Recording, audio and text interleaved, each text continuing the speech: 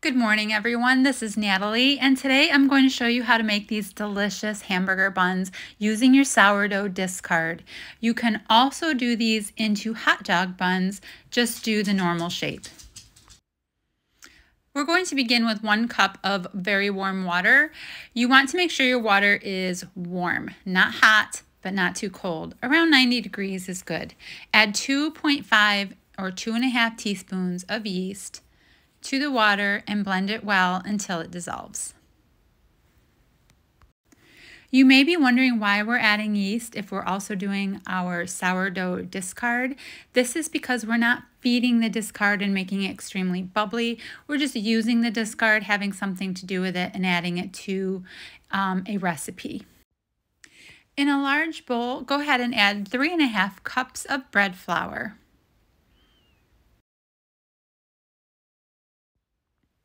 To this, you will add three tablespoons of sugar and one and a quarter teaspoons of sea salt.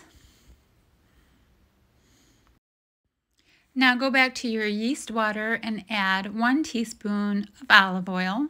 I like to use extra virgin and one tablespoon of whole milk.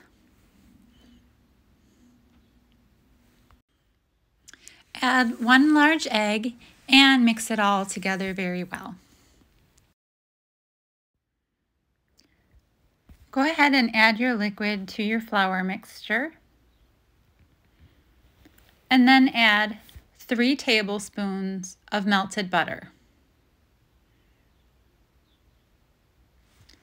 Then we're going to just start stirring all of this together. You can use your hands, you can use a fork, a spoon, whatever you like. You're just going to start making this now into a dough.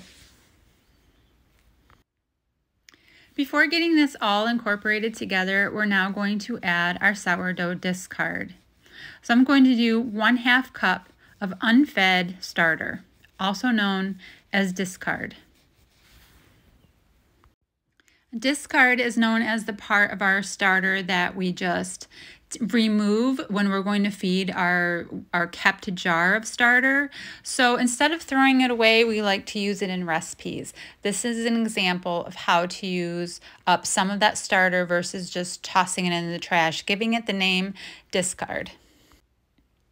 Discard will make your dough very sticky. You can add a little bit of flour as you go and start kneading, but you'll see it starts to soften up. Keep working with it. Keep adding touches of flour if you need it.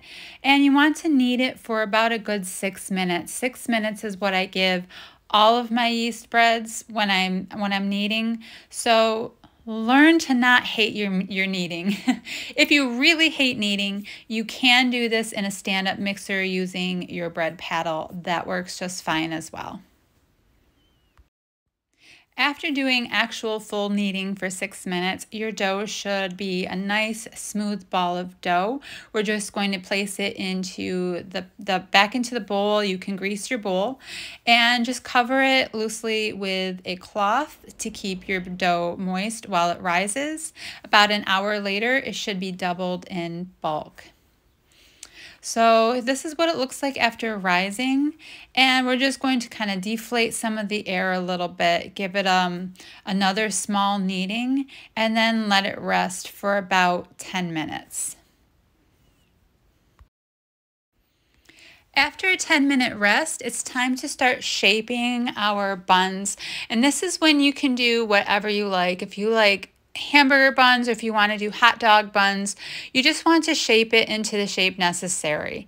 Um, so grab about eight equal pieces and start rolling them into a small ball and placing it onto your baking sheet. When I shape these, I like to make like that little ball shape, but then what I do is kind of um, fold the top backwards one way and then fold it back the other way and then kind of start rounding out the top and flattening out the bottom and it makes it so I don't have seams all over the side of my hamburger bun. It gives it more of a nice rounded shape without anything interfering with how smooth it looks all the way around. So we're just going to do this. Um, you're going to get eight to nine buns, you want to really shoot for eight to keep them all of the same consistent size. So just set these out so that as they rise again, you do want each bun to kind of touch each other just a little bit when they rise. You're going to go ahead and cover them up again with your clean towel and let them rise for about an hour again. They will be doubled in size, give or take, nice and puffy. So we're just going to give them an egg wash, which is one large egg and about a teaspoon of water. I'll blend it up and go ahead and brush those tops.